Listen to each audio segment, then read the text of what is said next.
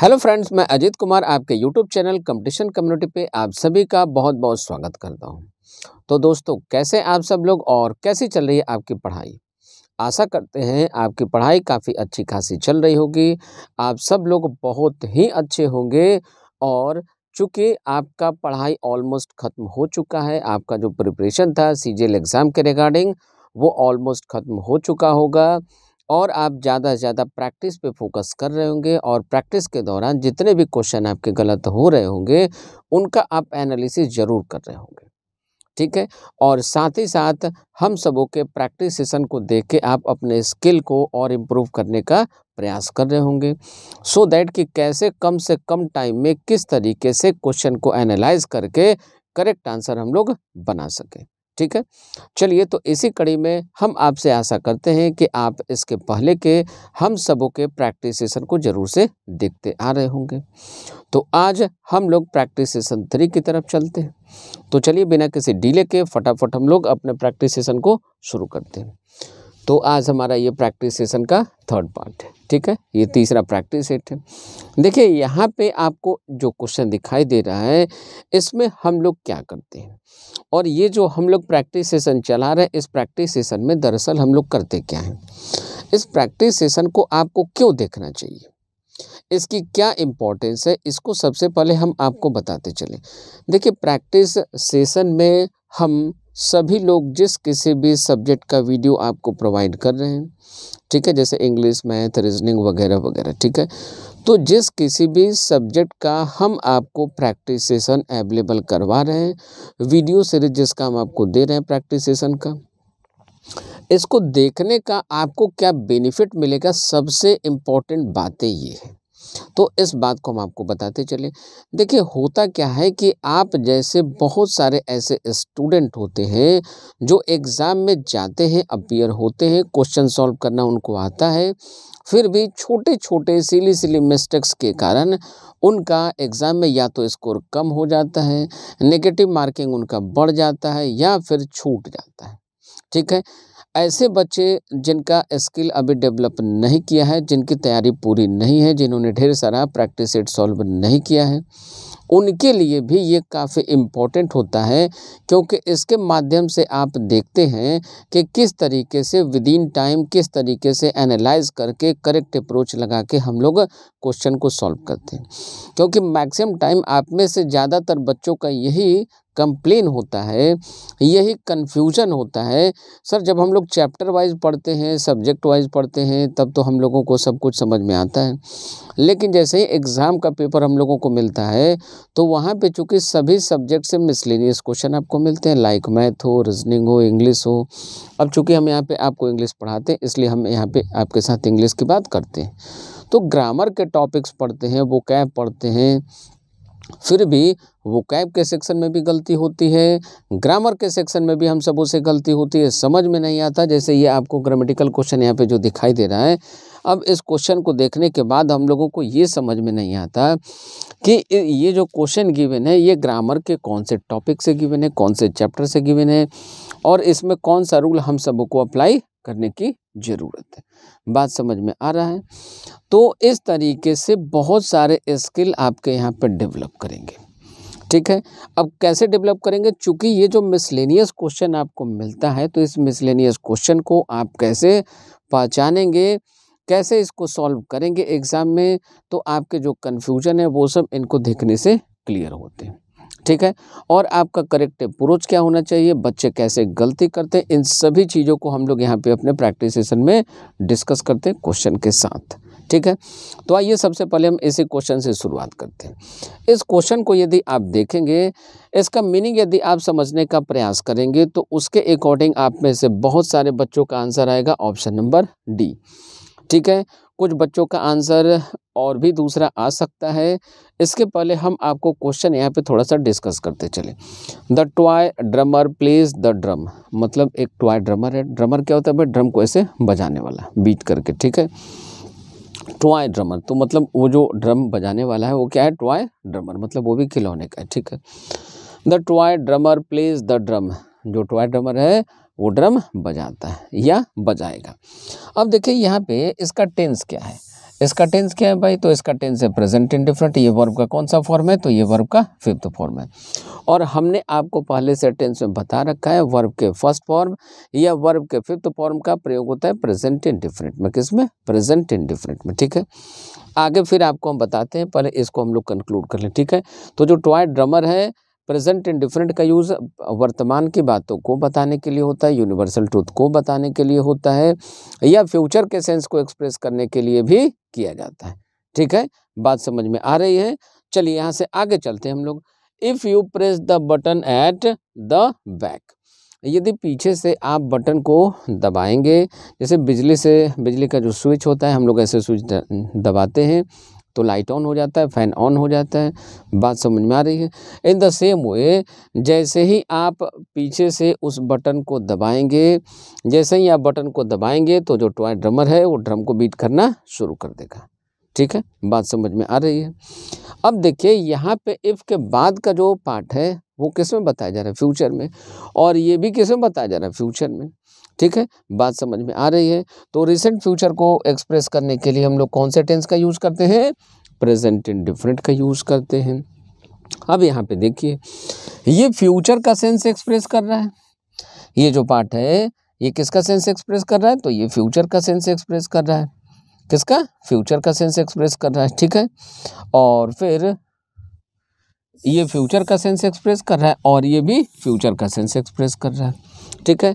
और बीच में देखिए करेक्टर के रूप में यूज़ किया गया इफ़ का। ठीक है? बात समझ में आ रही है? अब आप याद कीजिए, हमने जब आपको फ्यूचर इंडिफरेंट पढ़ाया था तो वहाँ पे हमने आपको एक रूल बताया था। क्या रूल बताए थे भाई? तो आइए हम यहाँ पे आपको रूल थोड़ा समझाने का प्रयास करें।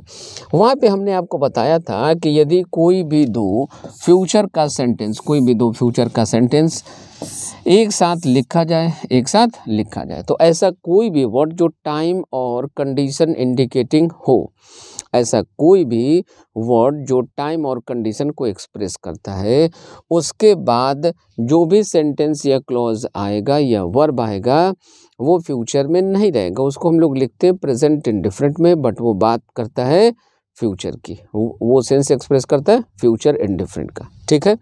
जैसे, इसको समझाते हुए हमने आपको सिंपल सा एग्जांपल लिया था इफ़ का। इफ़ का यूज़ या तो दोनों सेंटेंस के बिगिनिंग में हो, शुरुआत में हो, यहाँ पे हो या दोनों के मिडिल में हो।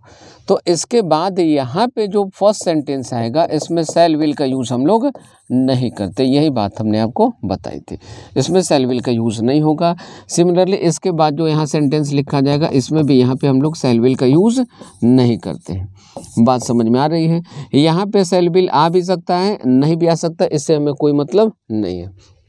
यहाँ पर सेल मिल आ भी सकता है, नहीं भी आ सकता है, हमें इससे कोई मतलब नहीं है।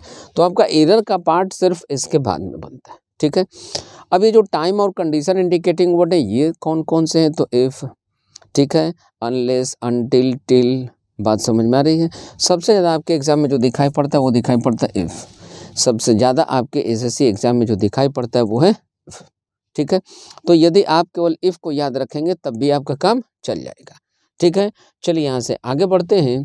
अब इस क्वेश्चन को हम लोग यहाँ पे एनालाइज करते हैं। तो ये देखिए, ये क्या मिला हमें? इफ़ इफ़ के बाद जो पार्ट लिखा हुआ है, इसमें ये जो वर्ब है, ये किसमें है? तो ये वर्ब के फ़र्स्ट फॉर्म में फ़र्स्ट फॉर्म यानी कि प्रेजेंट एंड डिफरेंट में है। यहाँ पे सेलविल लिखा हुआ होता तो गलत होता। वहाँ से सेलविल को रिमूव करना होता। और ये कौन से टेंस में? प्रेजेंट इन डिफरेंट में, क्योंकि वर्ब का फॉर्म कौन सा है? फ़र्स्ट फॉर्म में। तो वर्ब के फ़र्स्ट फॉर्म या वर्ब के फिफ्थ फॉर्म का प्रयोग करते हैं हम लोग। प्रेजेंट इंडिफरेंट में, ठीक है? तो इसके बाद यहाँ जो सेंटेंस लिखा जाता है, वो लिखते हैं हम लोग उसको प्रेजेंट इंडिफरेंट में, बट ये सेंस एक्सप्रेस करता है फ्यूचर इंडिफरेंट का। क्लियर? तो फ़िलहाल इस सेंटेंस में कहीं कोई एरर नहीं है, इसलिए हमारा आंसर क्या बनेगा? हमारा आंसर बनेगा नो सब्सटीट्यूशन या नो करेक्शन रिक्वायर्ड, ठीक है? नेक्स्ट यहाँ से आगे बढ़ते हैं हम लोग, चलते हैं अगले क्वेश्चन की तरफ़। यहाँ पे देखिए क्वेश्चन में क्या करना है। तो इसमें आपको फाइंड करना है सिनोनिम्स। क्या फाइंड करना है? आपको फाइंड करना है सिनोनिम्स यानी सेम मीनिंग वाले वर्ड ठीक है, ये देखिए न्यूमेरस न्यूमेरस का मीनिंग क्या होता है? कई, अनेक, अनगिनत। ठीक है? कई, अनेक, अनगिनत। आ जाइए टोटल टोटल किया हुआ? फ्यू का मतलब होता है कुछ या थोड़ा। ठीक है? सेवरल कई, अनेक नंबर्ड मतलब सब पे नंबर डाला हुआ, जैसे मान लीजिए मेरे पास अलग अलग टाइप के ढेर सारे बॉल हैं, ठीक है? उस बॉल पे नंबर डाला हुआ हो one two three four and so on वो है नंबर्ड माने नंबरिंग किया हुआ। ठीक है? अब इस क्वेश्चन का सेम मीनिंग क्या बनेगा भाई? तो इस न्यूमेरस से मिलता जुलता मीनिंग वाला वर्ड कौन है? ऑप्शन नंबर सी ठीक है? काफ़ी आसान सा क्वेश्चन है। इसके बाद चलते हम लोग अगले क्वेश्चन की तरफ़। अगला क्वेश्चन फिर से हम लोगों को देखने को मिल रहा है क्लोज टेस्ट का। हमने आपको पहले से बता रखा है क्लोज टेस्ट का जो क्वेश्चन होता है, इसको यदि आप ध्यान से बनाने का प्रैक्टिस करेंगे तो आपको इसमें क्या दिखाई देगा? कम से कम एक क्वेश्चन तो ऐसा ज़रूर होगा, जो बिना इसको पढ़े हुए, समझे हुए हम यूँ ही आसानी से बना सकते हैं। ठीक है? चलिए, अब आ जाइए ज़रा इस सेंटेंस में हम लोग देखें, इस क्लोज टेस्ट के पैसेज में हम लोग पढ़ना शुरू करें।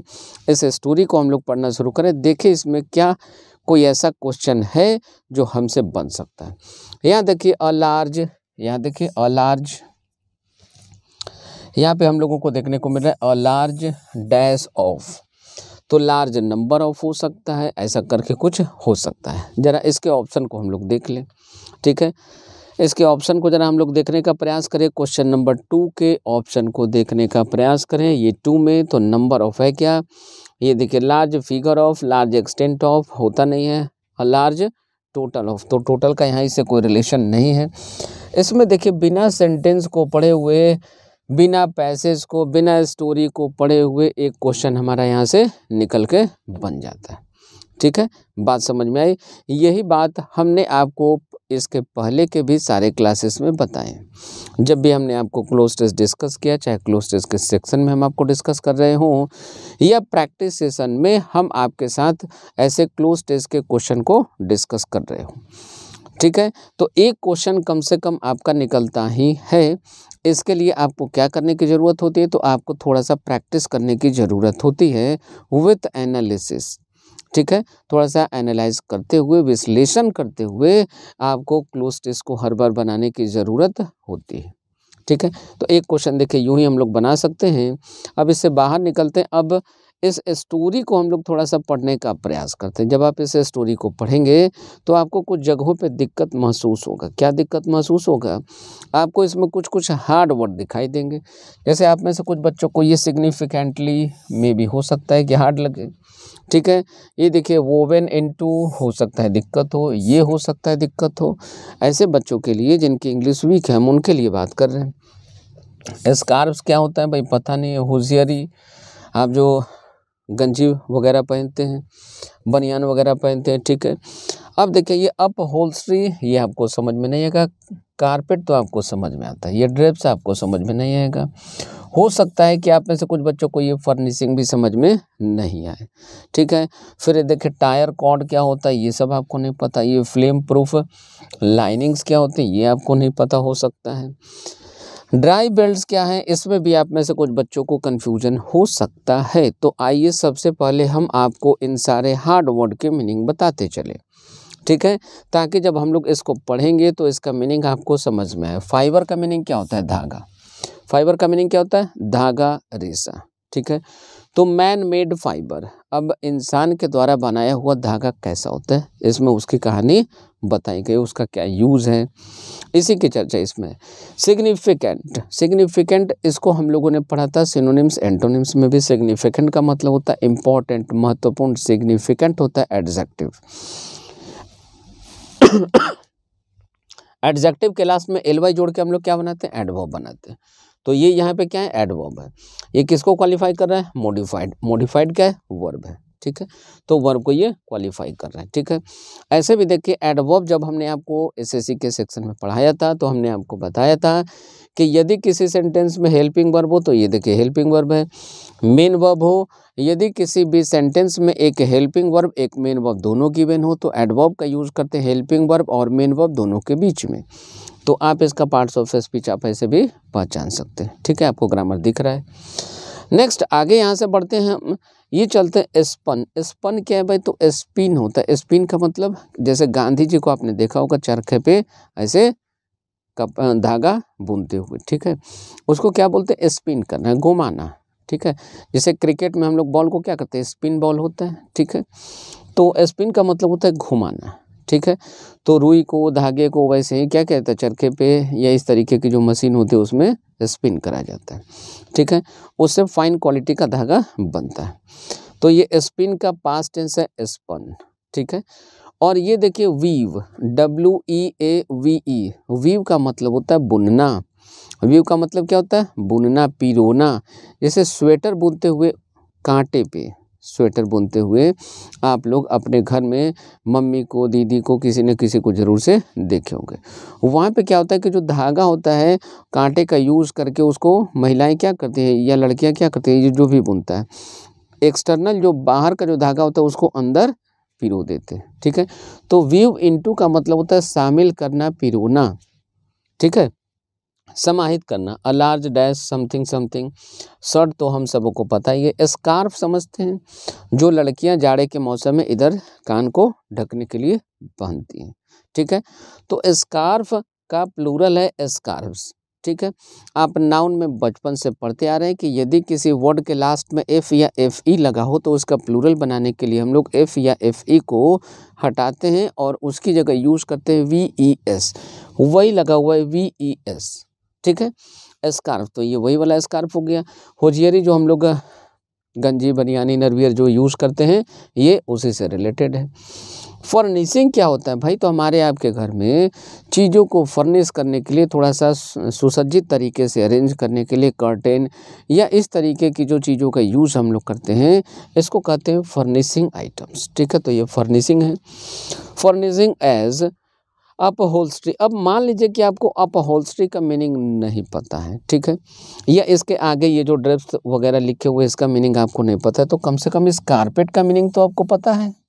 तो आप मान लीजिए कि ये सब वर्ड यहाँ पे गिवन नहीं है। यही हम सबों के साथ एग्ज़ाम में प्रॉब्लम होता है, ठीक है?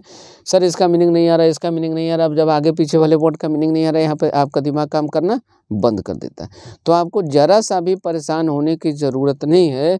भूल जाइए कि यहाँ पे ये कोई वर्ड गिवन है। भूल जाइए। यहाँ भी भूल जाइए कि ये भी आपको कोई वर्ड गिवन है।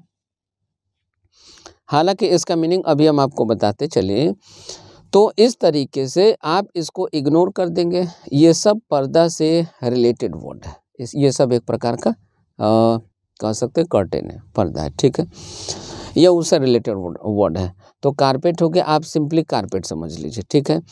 सच एज कारपेट्स ठीक है? And dash part such as tyre cord अब ये गाड़ी में जो हम लोग टायर यूज़ करते हैं टी आई आर ई ये टायर कॉर्ड क्या है भाई? तो हम लोग जो टायर यूज़ करते हैं, वो टी वाई आर ई होता है, ठीक है? और जो टायर होता है, कभी आप किसी जले हुए टायर को देखे होंगे तो उसमें देखेंगे कुछ थ्रेड लगा होता है रेसेदार चीज़ें उसमें लगी हुई होती है, ठीक है? जिसके कारण वो मज़बूत होता है, या कभी किसी फटे हुए टायर को देखिए, जो किनारे से कटता है, ठीक है? किनारे से, बीच से नहीं तो आप उसमें देखेंगे रेसेदार चीज़ों का यूज़ किया हुआ होता है, ठीक है? तो उसको कहते हैं tyre cord, flame proof linings अब ये फ्लेम प्रूफ लाइनिंग्स मतलब वो कम ज्वलनशील होता है, आसानी से जलता नहीं है। ऐसे कुछ लाइनिंग्स वाले कपड़े यूज़ होते हैं। ड्राई बेल्ट्स, जैसे आप कार चलाते हैं या कोई भी व्यक्ति कार चलाता है तो हम लोग जो सीट बेल्ट यूज़ करते हैं, वो भी किसका बना है? फाइबर का बना है, ठीक है? तो इसमें उसकी चर्चा की गई है। अब आइए बोर्ड को क्लीन करते हैं और एक बार इसको पढ़ के समझने का हम लोग प्रयास करते हैं। Man made fibre is fibre whose chemical composition structure and properties are significantly modified during the manufacturing process इसमें यह बताया गया कि जो मैन मेड फाइबर हैं, धागे हैं, रेसे हैं, वो इस प्रकार के होते हैं जिसका केमिकल कंपोजिशन जिसका रासायनिक जो संगठन है, वो, ठीक है स्ट्रक्चर और प्रॉपर्टी ये सब significantly modified during the manufacturing process इन सबों में बहुत ज़्यादा परिवर्तन देखने को मिलता है, परिवर्तन किया जाता है या होता है, कब होता है भाई? तो मैन्युफैक्चरिंग प्रोसेस में। ठीक है? मतलब इनका जब निर्माण किया जाता है मैनमेड फाइबर का जब निर्माण किया जाता है, उत्पादन किया जाता है तो उस समय इनके प्रॉपर्टीज़ में बहुत ज़्यादा चेंजेस किए जाते हैं। ठीक है? चलिए आगे बढ़ें।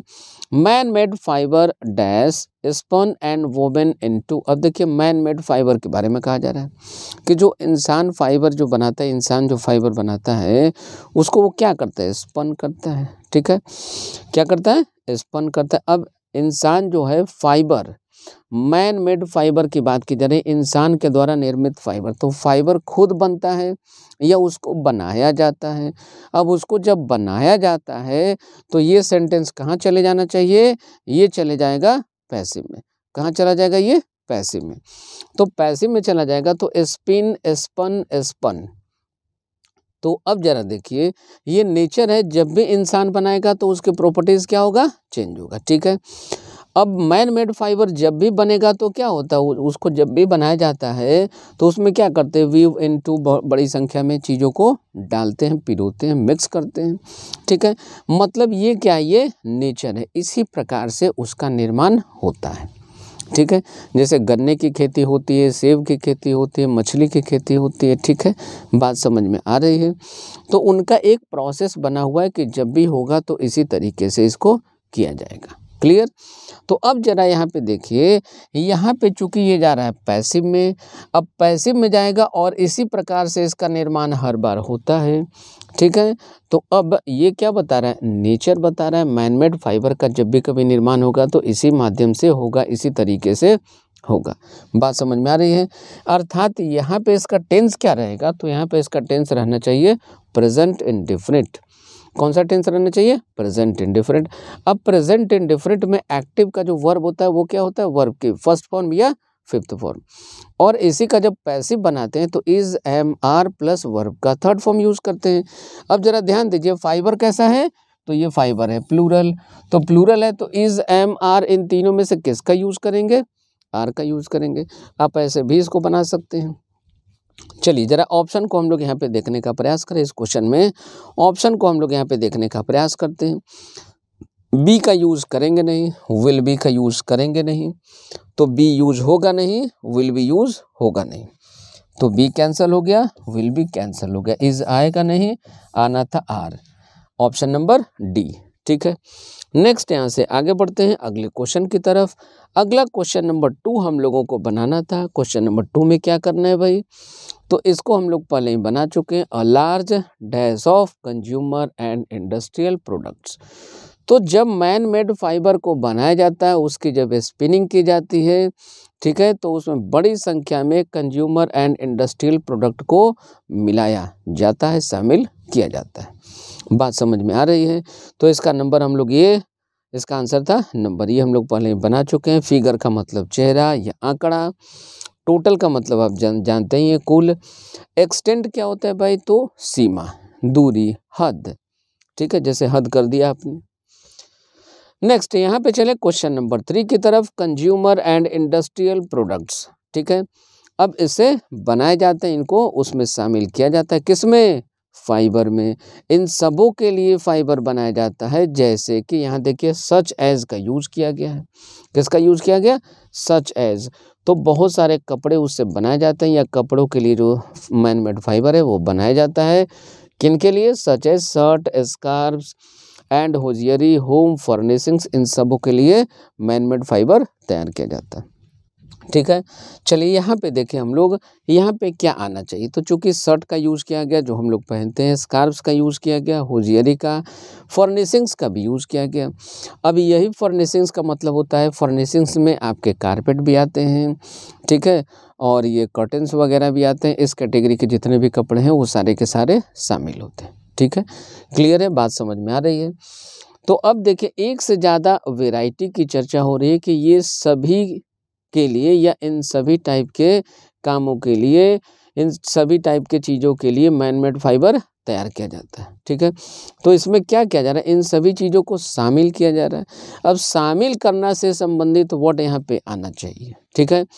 इंक्लूडिंग मतलब शामिल करते हुए काउंटिंग मतलब गिनते हुए।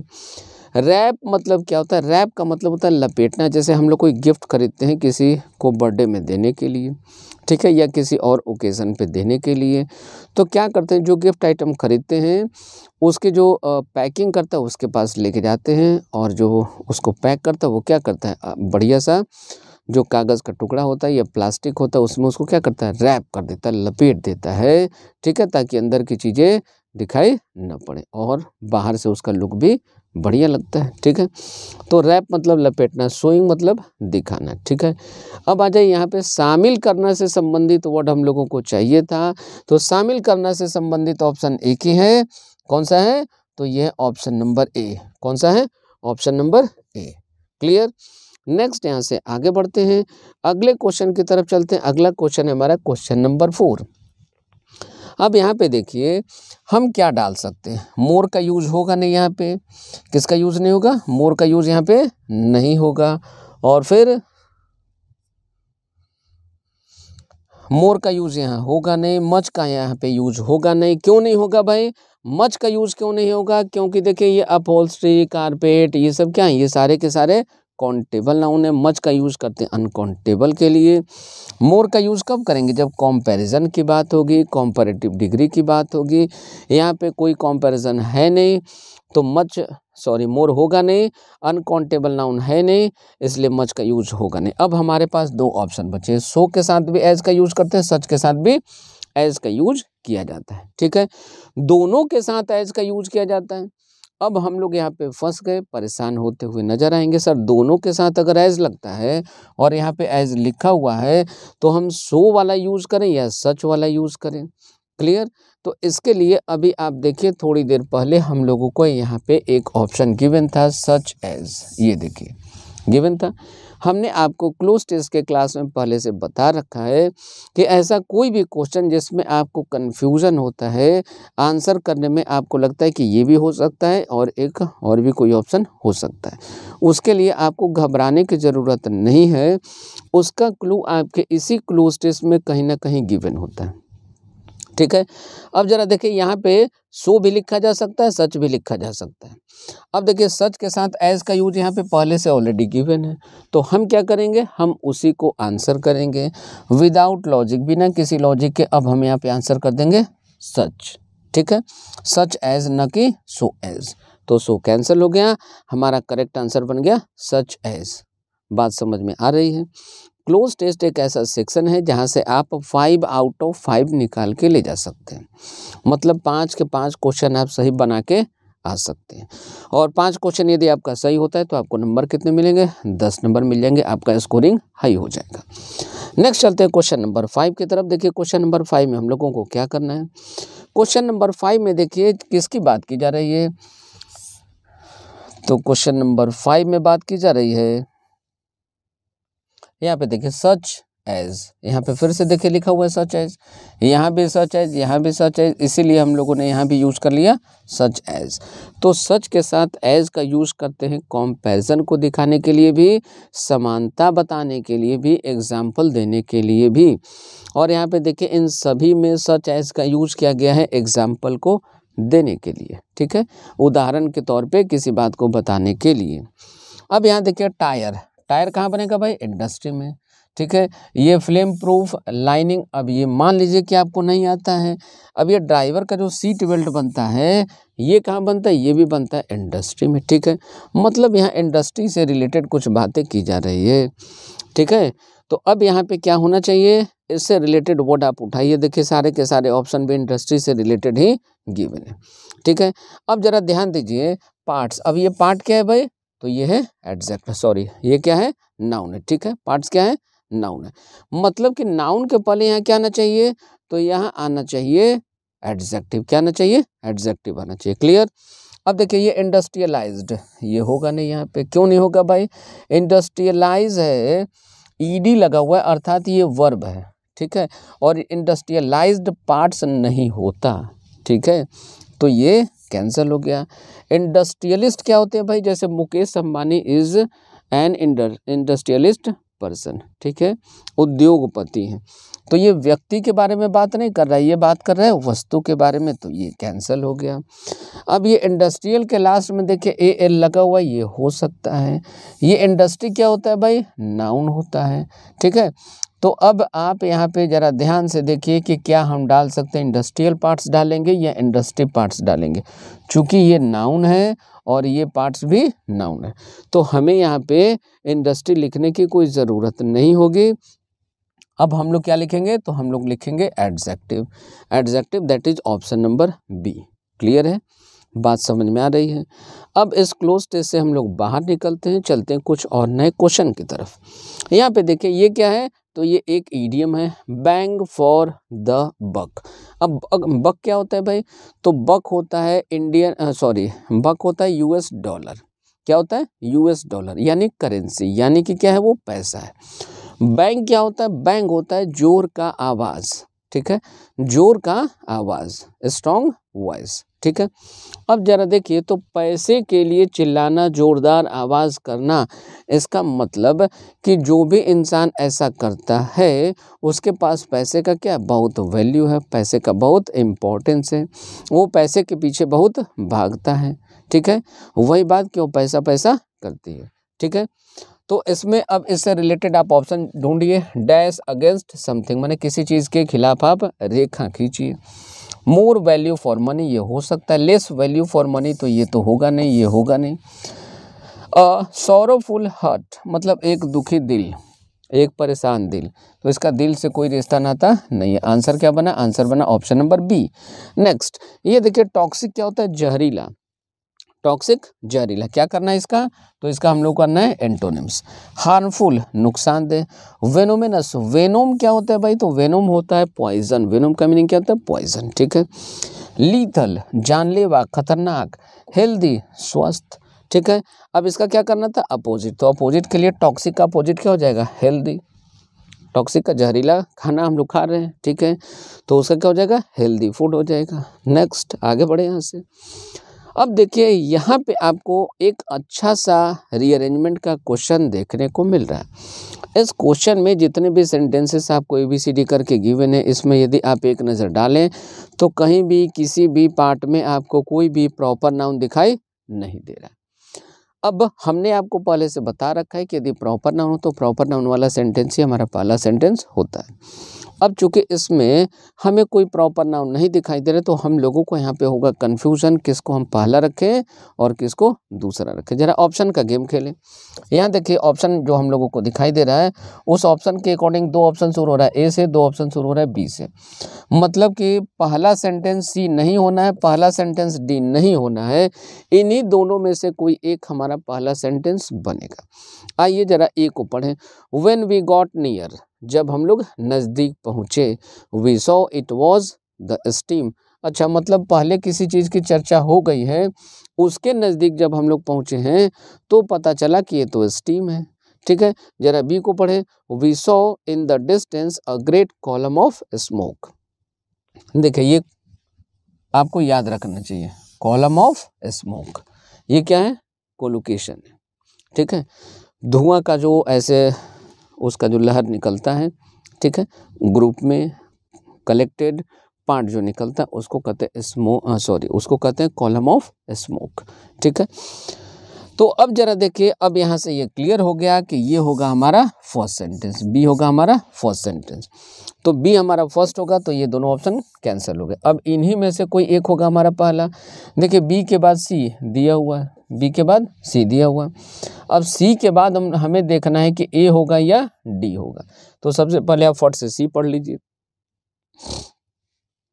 We wondered if it came from a chimney or a burning house मतलब ये जो कॉलम ऑफ़ स्मोक था, जो दूर से हम लोगों को दिखाई पड़ा, उसको देख करके हम लोगों को आश्चर्य हुआ कि ये चिमनी से निकल रहा है या कहीं किसी चीज़ के घर से जलने का धुआँ है। ठीक है? बर्निंग हाउस मैंने कहीं कोई घर जल रहा है, किसी घर में आग लग गई हो, कहीं ये उसका धुआँ तो नहीं है, ठीक है? अब सी के बाद हम लोग पढ़ के देखें ए को। ए को पढ़ें जरा। वेन वी गॉट नियर अच्छा जब हम लोगों को ये कन्फ्यूज़न हुआ तो कन्फ्यूज़न हुआ, आश्चर्य हुआ, उसके बाद हम लोग उसके नज़दीक गए। क्लियर सी बात है कि सी के बाद क्या आएगा?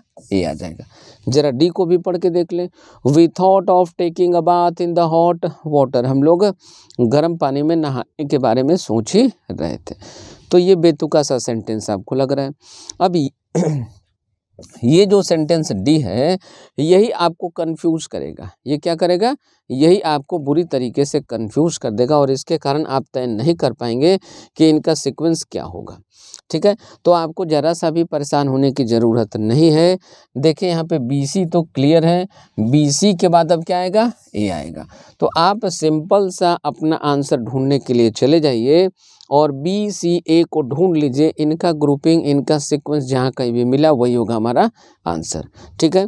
ये फ़र्स्ट में रहेगा कि लास्ट में रहेगा, अब इससे भी हमें कोई मतलब नहीं है। बी सी ए और आपके ऑप्शन में जहाँ कहीं भी ये गिवन होगा, ये एक साथ गिवन होगा। यहाँ देखिए बी सी ए गिवन है तो ये हो गया हमारा करेक्ट आंसर नेक्स्ट कभी कभी ऐसे क्वेश्चन आपको दिखाई पड़ते हैं जिसमें आप में से मैक्सिमम बच्चे कंफ्यूज होते हुए नज़र आते हैं। नेक्स्ट आगे चलते हैं। अगले क्वेश्चन में देखें हम लोगों को क्या करना है इसमें। ये एक ईडियम है to fight tooth and nail tooth का मतलब दांत नेल का मतलब नाखून भी होता है, ठीक है? नेल का मतलब कांटी भी होता है, लोहे का जो नेल होता है, जिसको हम लोग दीवार में ठोकते हैं। अब ज़रा ध्यान दीजिए, कोई शरारती छोटा सा बच्चा हो, कोई छोटी उम्र का बच्चा हो, बहुत ज़्यादा शरारती हो नोटी हो, बदमाश हो, ठीक है? और आप कभी उसको पकड़ने का प्रयास कीजिए, कभी आप उसको पनिश करने का प्रयास कीजिए ठीक है? वो आपसे बचने के लिए क्या करता है? अपना पूरा जी जान लगा देता है। कैसे? तो उस बच्चे के पास और ज़्यादा कुछ तो है नहीं, आपसे ज़्यादा ताकत उसके पास है नहीं। तो वो अपना जो नाखून है उसका यूज़ कर लेता है, अपना जो उसका टीथ है, दांत है, उसका यूज़ आपके ऊपर कर लेता है। मतलब आपको नोचने का, दांत से काटने का प्रयास करता है, अपना हर संभव प्रयास करता है, जो कुछ भी कर सकता है करता है। अब इससे रिलेटेड ऑप्शन आप ज़रा ढूंढ लीजिए। To use unusual weapons to fight ये वीपन्स आ गया, हथियार आ गया। तो बच्चे के पास कोई हथियार होता नहीं है पहले कैंसिल हो गया। To keep the enemy guessing about the weapons इसमें भी वीपन की चर्चा हो गई cancel to silently leave the scene of battle युद्ध भूमि की चर्चा हो गई, ये भी cancel to fight or compete with get great ferocity and intensity मतलब पूरे ताकत के साथ, पूरे जोशो खरोश के साथ जो भी आप कर सकते हैं, वो करना तो आंसर क्या बनेगा? ये होगा। ठीक है? बात समझ में आ गई। नेक्स्ट यहाँ से आगे बढ़ते हैं। अगले क्वेश्चन में चलते हैं। इस क्वेश्चन में देखिए हम लोगों को क्या करना है तो इनकरेक्ट वर्ड हम लोगों को ढूंढना है। इनकरेक्ट वर्ड हम लोगों को ढूंढना है। ये देखिए सिलेस्टियल क्या होता है? हेवनली स्वर्गीय। ठीक है? स्वर्ग से रिलेटेड सीजनल क्या होता है? जो सीज़न से रिलेटेड हो, मौसम से रिलेटेड हो। ये जिम्नास्टिक क्या होता है भाई? जिम्नास्ट समझते हैं? जो ओलंपियाड वगैरह नहीं ओलंपिक गेम्स ओलंपियाड पढ़े लिखे लोगों के लिए होता है स्कॉलर्स के लिए होता है इंटेलिजेंट बच्चों के लिए होता है। ओलंपिक गेम समझते हैं, जो चाइना में होता है जापान में होता है यूएस में होता है अलग अलग जगहों पे होता है। उसमें जो भाग लेते हैं, उसको कहते हैं जिम्नास्ट उसी से रिलेटेड वर्ड है जिम्नास्टिक ठीक है? ये हाइजीन का स्पेलिंग गलत है। हाइजीन का स्पेलिंग गलत है। तो इस क्वेश्चन का आंसर क्या बना? हाइजीन ठीक है? आगे बढ़ते हैं यहाँ से। Work and domestic dash maid Kajal short tempered short tempered मतलब जल्दी गुस्सा होने वाला। अब जरा आप देखिए, यहाँ पे जो काम करने का लेवल है, वो किसी के ऊपर ज़रूरत से ज़्यादा काम का प्रेशर आप डाल देंगे तो वो इंसान कैसा हो जाएगा? शॉर्ट टेम्पर्ड हो जाएगा। ठीक है? अब इससे रिलेटेड वर्ड आप ढूंढिए। देखिए फोर्स का मतलब क्या? बल, ताकत वेट भार ग्रेविटी गंभीरता। प्रेशर। तो वर्क के लिए हम लोग क्या यूज़ करते हैं? वर्क का वर्क के साथ हम लोग वर्क फोर्स यूज़ नहीं करते वर्क वेट यूज़ नहीं करते वर्क ग्रेविटी नहीं होता वर्क प्रेशर होता है। क्या होता है? वर्क प्रेशर होता है। ठीक है? ये कोलोकेशन है, इसको आप याद रखने का प्रयास करेंगे। वर्क प्रेशर ठीक है? नेक्स्ट यहाँ से आगे चलते हैं हम लोग। अगला क्वेश्चन क्या करना है भाई? तो ये ग्रामर का क्वेश्चन है। इस क्वेश्चन में हम लोगों को ढूंढना है कि वो कौन सा सेक्शन है जिसमें ग्रामेटिकल एरर है, जहाँ पे ग्रामर की गलती है। सेंटेंस जैसे ही आप पढ़ना शुरू करेंगे इट इट कैसा होता है? सिंगुलर सिंगुलर के साथ क्या यूज़ करते हैं? हैज़ का यूज़ करते हैं, न कि हैव का। तो यही वाला पार्ट हमारा आंसर बन गया। तो इसका आंसर ये रहा। ऑप्शन नंबर ए ये था सब्जेक्ट ऑफ़ एग्रीमेंट का क्वेश्चन ठीक है? नेक्स्ट यहाँ से आगे बढ़ते हैं, अगले क्वेश्चन की तरफ़ चलते हैं। इस क्वेश्चन में देखिए, ये नरेशन का क्वेश्चन है। इस क्वेश्चन में आपको क्या करना है? तो इस तरीके के क्वेश्चन को बनाने के लिए हमने आपको पहले से बता रखा है कि यदि रिपोर्टिंग वर्ब पास्ट में हो, ये देखिए रिपोर्टिंग वर्ब कहाँ है? पास्ट में है। तो इसका जब भी कभी हम लोग डायरेक्ट से इनडायरेक्ट बनाते हैं तो हमने क्या बताया? सीधा आप टेंस का वर्ब पकड़िए। टेंस का वर्ब पकड़िए और उसको पकड़ के चेक कर लीजिए, वही आपका आंसर दे जाता है। तो यहाँ पे देखिए, ये जो रिपोर्टेड स्पीच है, इसका टेंस क्या है? इसमें देखिए यहाँ पे क्या लगा हुआ? इज़ लगा हुआ है। और ये कहाँ है? पास्ट में। तो ये इज़ इनडायरेक्ट में कहाँ कन्वर्ट हो जाएगा? वॉज़ में कन्वर्ट हो जाएगा। आ जाइए, इस वॉज़ को ढूंढना हम शुरू करें। यहाँ देखिए, वॉज़ हमें दिखाई दिया इस क्वेश्चन में। सेकंड वाले में देखिए, वॉज़ है क्या? इज़ है। इज़ है तो ये कैंसिल।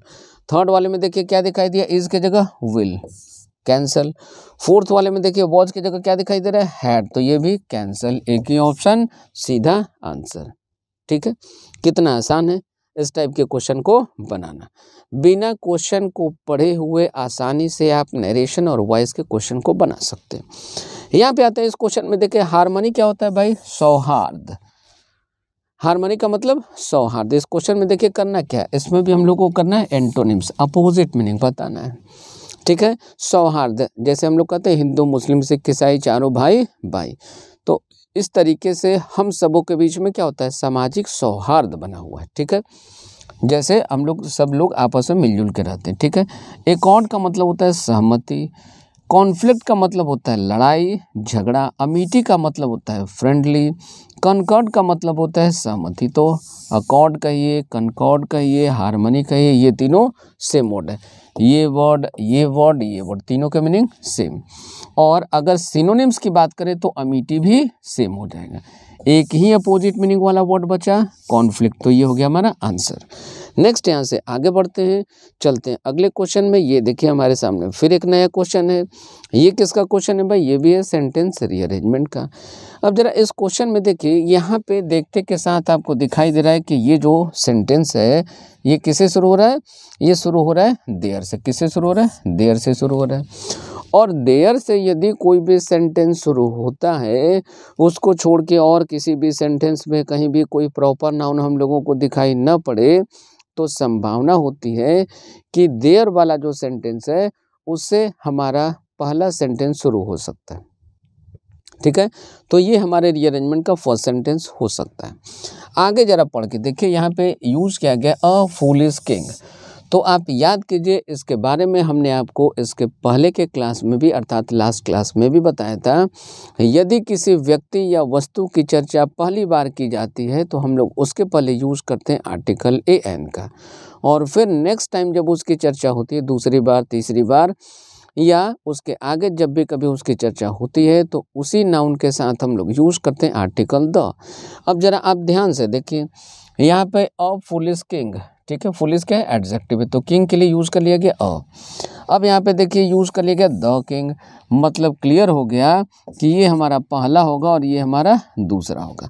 ऑप्शन ज़रा देखिए, चार में से तीन ऑप्शन ए से शुरू हो रहे हैं। मतलब नाइन्टी नाइन परसेंट संभावना है कि हमारा आंसर ए से ही शुरू होगा। और एक ऑप्शन शुरू हो रहा था डी से। अब डी में देखिए किंग के पहले द लगा हुआ है और ए में देखिए किंग के पहले अ लगा हुआ है। तो ज़ाहिर सी बात है कि आर्टिकल ए एन वाला पहले नंबर पे आएगा, उसके बाद आएगा आर्टिकल द वाला, ठीक है? तो इस कॉन्सेप्ट के आधार पे हमारा आंसर क्या बनना चाहिए? ए डी वाला। तो आप ए डी का ऑप्शन उठाइए, ए डी का एक ही ऑप्शन है, ऑप्शन नंबर डी। और सीधा आंसर करके आगे निकल जाइए। नेक्स्ट यहाँ से आगे चलते हैं। कुछ और नए क्वेश्चन की तरफ़। अगला क्वेश्चन क्या है? A place in a large institution किसी बड़े संस्था में for the care of those who are ill किसी बड़ी संस्था में एक ऐसा चीज़, एक ऐसा जगह जो उनको या ऐसे लोगों की देखभाल के लिए बनाया गया होता है, जो लोग बीमार होते हैं। अर्थात दूसरे शब्दों में हम लोग बात करें तो किसी बड़ी संस्था में एक ऐसा जगह जो बीमार लोगों के लिए बनाया गया होता है, ठीक है? उस जगह को हम लोग क्या कहते हैं? ये देखिए हॉस्टल तो हॉस्टल आप समझते हैं, बॉयज़ हॉस्टल, गर्ल्स हॉस्टल, ठीक है? अब ये हैंगर क्या होता है? ये हैंगर एक ऐसा जगह होता है जहाँ पे प्लेन्स को रखा जाता है। जैसे किसी भी आप एयरपोर्ट पे जाएँगे तो प्लेन को जहाँ रखा जाता है, उस जगह को क्या कहते हैं? तो कहते हैं हैंगर ये भी आपके एस एग्ज़ाम में न जाने कितनी बार रिपीटेड वर्ड है, ठीक है? डॉर्मेट्री क्या होता है भाई? धर्मशाला जहाँ बहुत सारे लोगों को एक साथ रखा जाता है। ठीक है? अब ये देखिए, ये हॉस्टल होगा नहीं ऑप्शन नंबर सी होगा नहीं ऑप्शन नंबर डी होगा नहीं, एक ही ऑप्शन है। इनफॉर्म इनफॉर्म का मतलब ऐसे भी होता है, कमज़ोर। इनफॉर्मरी मतलब कमज़ोर या बीमार लोगों के देखभाल की जगह। नेक्स्ट आगे बढ़ते हैं, अगले क्वेश्चन में चलते हैं। ये क्वेश्चन क्या, ये भी है? वन वर्ड सब्सटीट्यूशन का। अ सेंटिमेंटल लॉन्गिंग सेंटिमेंटल मतलब भावनात्मक। लॉन्गिंग का मतलब क्या होता है? Strong desire to get something ठीक है? किसी चीज़ को पाने की तीव्र इच्छा चाहत फॉर अ पीरियड और इन द पास्ट मैंने अतीत के यादों अतीत की याद से जुड़ा हुआ है। अतीत पास्ट का जो मेमोरी है, उससे जुड़ा हुआ। ठीक है? इमोशनल अटैचमेंट मेमोरी किसी भी प्रकार का यादाश्त ठीक है? क्रेव क्या होता है भाई? ये भी होता है strong desire to do something strong desire to do something strong desire to get something ठीक है? किसी चीज़ को प्राप्त करने की, पाने की तीव्र इच्छा। इमोशन, भावना। नॉस्टालजिया नॉस्टालजिया होता है अतीत की भावना में याद में खो जाना। अतीत की याद में खो जाना, डूब जाना। तो इस क्वेश्चन का आंसर क्या बनेगा? इसका आंसर बनेगा ऑप्शन नंबर डी इस क्वेश्चन का आंसर क्या बनेगा? तो इस क्वेश्चन का 19 नंबर का आंसर बनेगा नोस्टालजिया ये बनेगा हमारा करेक्ट आंसर नेक्स्ट यहाँ से आगे बढ़ते हैं। इसमें देखिए हम लोगों को क्या फाइंड करना है? इनकरेक्टली स्पेल्ड वर्ड हम लोगों को ढूंढना है। ये देखिए इनक्रीमिनेटिंग इनक्रीमिनेटिंग मतलब इसका क्या होता है? इसका स्पेलिंग करेक्ट है, इसका मीनिंग होता है किसी को दोषी या अपराधी साबित करने के लिए उसके खिलाफ सबूत जुटाना, इकट्ठा करना। ठीक है? ये देखिए अनप्रटेंसस इस अनप्रटेंसस का स्पेलिंग गलत है। यहाँ पे एस की जगह यदि हम लोग टी कर दें, इस एस की जगह टी कर दें तो ये इसका करेक्ट स्पेलिंग हो जाएगा। तो ये हो जाएगा हमारा आंसर कैंसिलेशन आप समझते हैं, रद्द करना, समाप्त करना। एम्बॉडीमेंट क्या होता है भाई? साकार रूप लेना। जैसे हम सब लोग जानते हैं कि ईश्वर या नेचर जो है टाइम टू टाइम साकार रूप लेता है। ठीक है? ईश्वर को कोई देख नहीं सकता, लेकिन ईश्वर टाइम टू टाइम अलग अलग समय पे मानव शरीर के रूप में जन्म लेकर हम आपके जैसे जो इंसान हैं, इनको रेक्टिफाई करने का प्रयास करते हैं, ठीक है? एम्बॉडीमेंट होता है साकार रूप लेना, ठीक है? तो इस क्वेश्चन का क्वेश्चन नंबर ट्वेंटी का आंसर क्या बना? ऑप्शन नंबर बी नेक्स्ट यहाँ से आगे बढ़ते हैं, चलते हैं। अगले क्वेश्चन की तरफ़। The sea has become an cheap. देखिए, चीप के पहले कभी आर्टिकल एन का यूज़ होगा नहीं। किसका यूज़ होगा? अगर आर्टिकल लगाना हो तो अ चीप यूज़ होगा। तो सीधी सी बात है, बहुत आसान सा क्वेश्चन था। इसका आंसर वही बनेगा। अब इसके ऑप्शन में देखिए, हम लोग एन चीप वाला कहाँ लिखा है? यहाँ पे लिखा है। अर्थात ऑप्शन नंबर बी। नेक्स्ट, आगे बढ़ते हैं यहाँ से। अगले क्वेश्चन में देखें some people were tired of the long dash in front of the mall and left without entering. मतलब कभी कभी संडे वगैरह को क्या होता है कि जो एक फ़ेमस मॉल होता है हमारे आपके शहर में, उस मॉल के बाहर लंबी लाइनें लगी हुई होती हैं। और कई लोग उस लंबी लाइन से पक जाते हैं, उब जाते हैं। और उब के बिना मॉल में इंटर किए हुए वहीं से वो बाहर चले जाते हैं, किसी दूसरे प्लेस पे चले जाते हैं। ऐसी बात यहाँ पे कही गई। तो लंबी लंबी लाइन में कहाँ इंतज़ार करना होता है? इंतज़ार करने से रिलेटेड वर्ड हम लोग ढूंढें। ये देखिए वेट इंतज़ार करना हो सकता है, ये वेट मतलब वज़न। भारी, ये होगा नहीं वेस्ट बर्बाद करना, ये होगा नहीं, ये वेस्ट मतलब होता है कमर। इसका कमर से कोई मतलब नहीं है। आंसर क्या बनेगा? Option number A. नेक्स्ट अगला वर्ड देखिए, बहुत ही अच्छा है और ये आपके एसएससी एग्ज़ाम में बार बार पूछा जाने वाला वर्ड है। डेबिलिटेट का मतलब क्या होता है भाई? डेबिलिटेट का मतलब होता है to make someone or something weaker किसी चीज़ को कमज़ोर बनाना। कैसा बनाना? कमज़ोर बनाना वीक करना। वाइटलाइज का मतलब क्या होता है? किसी चीज़ को सशक्त बनाना to make someone or something strong किसी चीज़ को सशक्त बनाना, मज़बूत बनाना एनिमेट का मतलब होता है फुल ऑफ़ एनर्जी मतलब तरोताज़ा, जीवंत रोबस्ट ठीक है एक्टिव वीकेंड कमज़ोर बनाना सस्टेन सस्टेन का मतलब क्या होता है? जीवित रहना, बने रहना. तो अब इस क्वेश्चन में करना क्या था? करना क्या था इसका? सिनोनिम सेम मीनिंग वाला वर्ड तो सेम मीनिंग वाला वर्ड क्या मिल जाएगा? ऑप्शन नंबर सी ये हो गया हमारा आंसर। नेक्स्ट यहाँ से आगे बढ़ते हैं, चलते हैं अगले क्वेश्चन की तरफ़। यहाँ पे देखिए, इस क्वेश्चन में क्या करना है? इसका हमें पैसिव बनाना है। क्या बनाना है? तो इसका बनाना है हम लोगों को पैसिव अब पैसिव एक्टिव के लिए हमने आपको क्या बताया कि वॉइस के किसी भी क्वेश्चन को सॉल्व करने के लिए आप सिर्फ़ और सिर्फ़ उसका मेन वर्ब पकड़िए। क्या पकड़िए? मेन वर्ब पकड़िए और मेन वर्ब को पकड़ के उसके टेंस को पकड़ लीजिए। मेन वर्ब का जो टेंस है, उसके अकॉर्डिंग आप उसका एक्टिव पैसिव बना दीजिए। ठीक है? उसी को सिर्फ़ आपको चेक करना होता है। यहाँ पे आइए इस क्वेश्चन में देखें। ये वोर तो वियर मतलब होता है पहनना। वियर वोर वॉर्न अब ये जो वोर है, इसका टेंस का, इसका वर्ब का फॉर्म कौन सा है? वर्ब का सेकंड फॉर्म अर्थात इसका टेंस क्या है? पास्ट इंडिफिनिट पास्ट इंडिफरेंट में ये एक्टिव है, इसका पैसिव हम लोगों को बनाना है। पैसिव कैसे बनाते हैं? पास्ट इंडिफरेंट का वॉज़ वर्ब प्लस वर्ब का थर्ड फॉर्म ठीक है? तो वॉज़ वर्ब के साथ क्या हो जाएगा? देखिए, ये अ बोर्ड ब्रॉड बेल्ट ठीक है? ये कैसा है? सिंगुलर है। तो सिंगुलर है ऑब्जेक्ट पैसिव का ये बनेगा सब्जेक्ट तो इसके लिए हम लोग क्या यूज़ करेंगे? वॉज़ का यूज़ करेंगे। आइए ऑप्शन में हम लोग चेक कर ले। वॉज़ और इसका थर्ड फॉर्म अर्थात वॉज़ वॉर्न चेक करना शुरू करें। यहाँ देखिए वॉज़ वॉर्न है क्या? नहीं है। नहीं है तो ये ऑप्शन नंबर है कैंसिल सेकंड में चलिए वॉज़ वॉर्न हाँ ये है, ये हो सकता है। थर्ड में देखिए वॉज़ वॉर्न है क्या? नहीं है। वॉज़ वॉर्न है? नहीं है। नहीं है तो ये भी कैंसिल लास्ट वाले में ये वॉज़ वॉर्न है क्या? हैड बिन वॉर्न है।